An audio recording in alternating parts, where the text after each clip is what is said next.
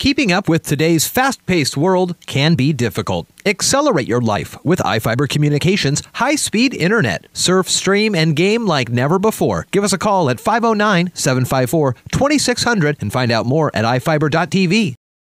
Researchers working with the State Department of Fish and Wildlife plan to fly a drone over pygmy rabbit reintroduction sites in Grant and Douglas counties. Flights will occur before the end of February in the Beezley Hills in Grant County and portions of the Sagebrush Flat Wildlife Area in Douglas County.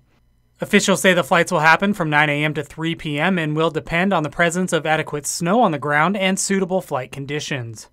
The drone flights are designed to test drone capabilities and effectiveness for tracking pygmy rabbit distribution and numbers in snowy conditions.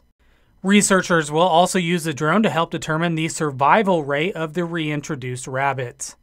The pygmy rabbit is the smallest rabbit in North America.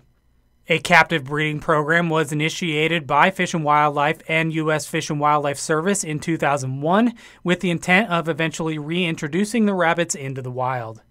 This is Joe Utter for iFiber One News.